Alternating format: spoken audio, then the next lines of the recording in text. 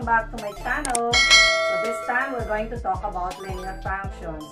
Uh, if you have any questions regarding the previous lessons about relation and function, ilalagay ko sa description box ko yung mga link niya para mapanood nyo rin and magkaroon kayo ng idea tungkol sa i-discuss ko ngayon. I-define muna natin ang linear function. Ang linear function is just an equation. It describes a specific relationship between a dependent and independent variable. This is an example of what a linear function looks like. f of x is equal to ax plus b. Yes, you're going to read this as f of x. Okay? Now, if you are familiar with the equation of the line, you will know that this is somewhat similar to y is equal to mx plus b.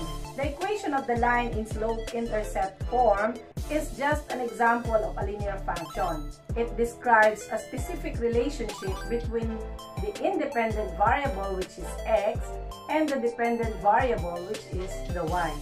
So, yung function notation na f of x ang gagamitin natin instead of y.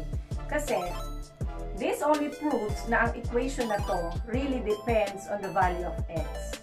I have here an example, f of x is equal to 4x plus 5. So, if we have the value of x as 3, lahat ng x na nakikita natin, ipapalit natin sa value ng x. Napakasimple lang ng gagawin natin. I-evaluate lang natin siya. So, f of 3 will become 4 times 3 plus 5. So, yung 4x, magiging 4 times 3. Okay? And then, f of 3 is equal to 12 plus 5. Then, f of 3 is equal to 17. Okay?